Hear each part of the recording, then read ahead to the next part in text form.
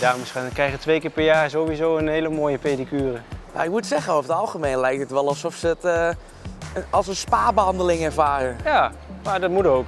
Daar moeten we ook op aan. Dat het een spaarbehandeling wordt. En je moet gewoon rustig zijn met die koeien. Als je zelf rustig bent, dan is dat vee ook rustig en dan loopt het ook gewoon mooi. Je bent eigenlijk een nagelspecialist voor koeien. Ja, zeker.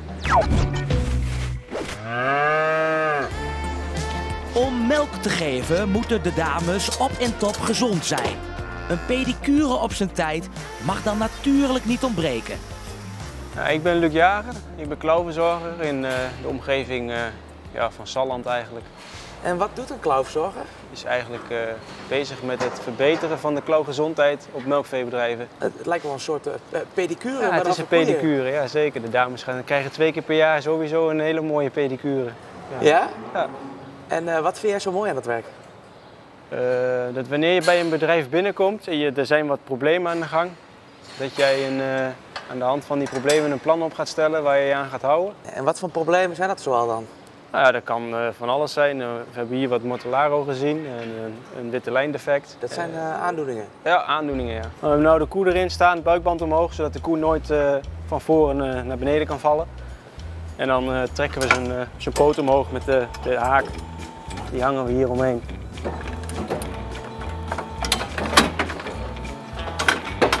Als ze meewerken. Als u meewerkt. Niet dus. Ook niet. Oh, wat voor... Zul je net zien hè? Dat is zo hè. En wat zie jij nu? Ik zie je nu hier Mortellaro zitten. Nu al direct. Wat is dat? Dat is een bacterie die, eh, ja, die veroorzaakt een hele nare wond eigenlijk. Ja, en dan krijgt die koe last van. En dan moet je die eigenlijk weer behandelen om eh, dat stukje huid weer gezond te krijgen. Als die koe niet loopt, gaat hij niet naar het voerrek, vreet hij niet, geeft hij geen melk. Net als bij een bedrijf, gezonde werknemers Ja, leveren... eh, Meer geld op als eh zieke. Ja.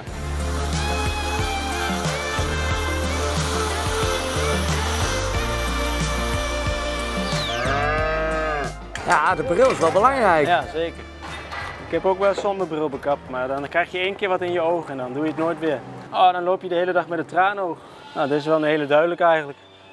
Een rode aardbei. Waar zie ik dat? Echt een, eh, een beetje verdikt, nare, geïrriteerde huid. Met een blauwe Hoof Fit Gel wordt de infectie genaamd Mortellaro bestreden. Verbandje eromheen en klaar is Kees. Hoe word je een klauwverzorger? Moet je daar een opleiding voor doen? In principe hoeft het niet. Ik ben ook zonder opleiding, nou ja, ik heb op school dan ooit leren bekappen een beetje. En dan ga je tegen wat dingen aanlopen, krijg je wat vragen en dan denk je, ja, misschien is het toch handig om eens een keer een opleiding te gaan doen. De opleiding, beroepsopleiding pedicure gedaan. Ja, die heb ik dan nu eh, ook afgerond. Hier ja, we hebben klauwmessen dan. Die zijn iets, uh, er zit iets, dit is dan een linksmes, dus voor je linkerhand en een rechtsmes voor je rechterhand. Ja, en dan eh, is ietsje hol, dus dan kun je mooi snijden eigenlijk. Ja. Wat doe je eigenlijk met je eigen nagels? Ga je ook naar een pedicure? Nee, Nee? nee. Nee, knippen we gewoon zelf hè. Ja.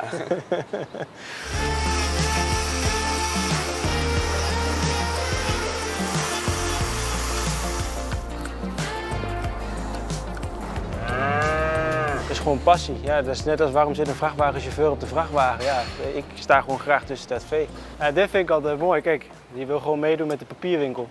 Maar die, eh, die koe hebben we dus net bekapt.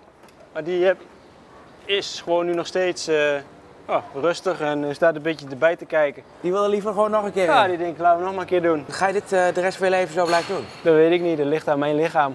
Het is fysiek nog wel Fysiek een wat zwaarder. Ja. En niet bang hè, dat als de koeien straks misschien weg moeten, dat het voor jou dan minder werk oplevert. ja, dat zou kunnen. Maar ja, dat weten we nu ook nog niet. Daar ben je niet zo mee bezig nu. Nee. Wat schrijf jij nu op? Het nummer van de koe. Nou, hier uh, Atus linksachter Mortellaro en hebben we hier staan. En dan maken we dan een M2 van, dat is een acute.